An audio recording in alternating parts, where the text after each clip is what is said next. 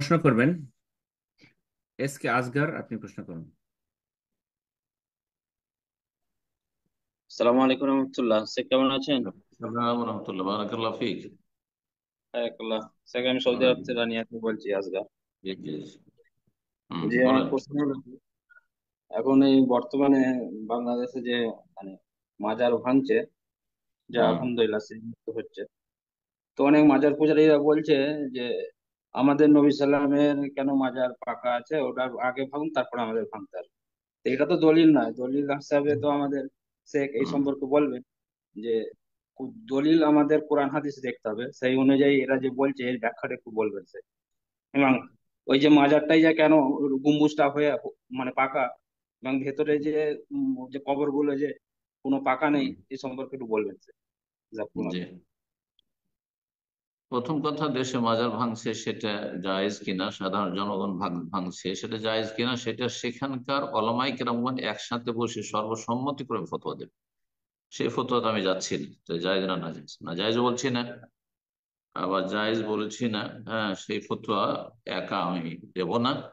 বরং সেখানকার ওলামাই কেরামগণ বসে ফতোয়া দেবেন। সেখানকার অবস্থা তারা বুঝছেন। সেখানকার বাস্তবতা তারা বুঝছেন। সেখানে সরকারের সেখানে পক্ষ থেকে সমর্থন ইত্যাদি এইসব বিষয়গুলি রয়েছে। সুতরাং তারা সেটা ফতোয়া দেবেন বাকি কথা নবী সাল্লামের ওসিয়ত হচ্ছে আলী রাজি আল্লাহ তালকে যে কোন জায়গায় উঁচু কবর, পাকা কবর না উঁচা কবর পেলেও তাকে একবারে সমতল করে দাও। বাস এক বিগতের বেশি রাখা যাবে পাকা কবরকে কাঁচা করে দাও এবং কাঁচা কবরকে উঁচা থাকলে সমতল করে দাও। জি। এ হচ্ছে না, ইল্লা সৌয়াই দাও আল্লাহ তাদা কবরান মুশরিফান ইল্লা সৌয়াই দাও কোন উঁচু কবর পেলে সেটাকে একেবারে সমতল করে, বরাবর এটি হচ্ছে নবী সাসমের নির্দেশ। এখন সংশয় বিদাতপন্থীদের যে নবী সাল্লামের কবর সেটাকে মাজার বলা বেদা, সেটাকে রজা বলা বেদা, খবর? নবী সাল্লামের কবর পাকা বা সেটা মাজার কেন? না, নবী সাল্লামের মাজারও নেই, রওজাও নাই, কবর আছেন এবং নবী সাল্লাহ সাল্লামের যেখানে দাফন আছে সেখানে দাফন আছেন। মা এসা রাজি আল্লাহ তালার হুজরাই মোবারকাই কক্ষে।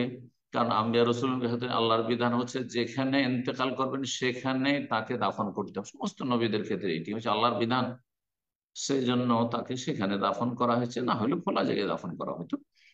আর সেখানে দাফন করা হয়েছে যাতে শির বিদাত না হয়। তার পক্ষেও শির বিদাত করতে বিদাতিরা ছাড়ে না এখানে এসে। আল্লাহ হেফাজত করুন আলহামদুলিল্লাহ, যেখানকার সরকার তহিদ সন্না সরকার, যে আলহামদুলিল্লাহ সেখানে প্রোটেকশনের ব্যবস্থা রেখেছেন যে এখানে মানুষ শির কুফরি সরাসরি স্পষ্ট ভাবে করতে পারে না।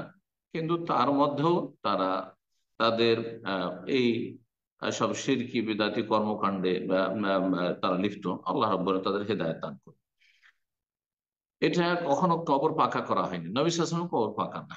এবং নবী সাল্লাহ সাল্লামের কবর যেমন মাজারগুলি রয়েছে সেরকম না। আর আর তারপরে যে গম্বুজ তৈরি করা হয়েছে সেই মায়েশার কক্ষের ওপর, সেই গম্বুজটি না নবী সাল্লাহ উপদেশ ছিল পড়িও।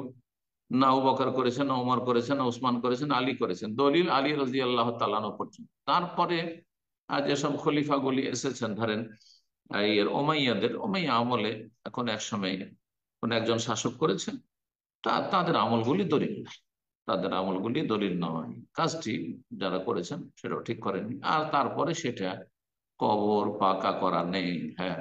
সেটা মসজিদের সাথে সামিল করে নেওয়া হয়েছে। মসজিদের সাথে সামিল করা হয়েছে। তারপরেও সেটাকে কক্ষের মধ্যে ঘিরে রাখা হয়েছে, ঘিরে রাখা হয়েছে। যাতে করে কেউ তফ না করতে পারে। একদিক বন্ধ করা আছে। যাতে তফ কেউ না করতে পারে সে কবরে। তারপরে তার পাশে বাম পাশের দিকে সলাত আদায় না করতে পারে। এইভাবে সেটাকে আলাদা করে রাখা। এক কথায় সেটা আলাদা হয়ে আছে, জি। মসজিদের মধ্যে কবর দেওয়া হয়নি সেটা মায়েশার কক্ষে কবর দেওয়া হয়েছে, তারপরে সেটা ওইভাবে পাকা করা হয়নি যে এইভাবে মাজারগুলি পাকা করে সেগুলিতে গাইরুল্লাহর এবাদত উপাসনা হচ্ছে, শিরকের আস্থানায় পরিণত হচ্ছে সেটাও নেই, আলহামদুলিল্লাহ, শিরক থেকে আল্লাহ রবুল্লাহ নবী সাল্লামের কবর মুক্ত রেখেছেন, হেফাজতে রেখেছেন, আল্লাহ যেন কেমন পর্যন্ত হেফাজত করেন।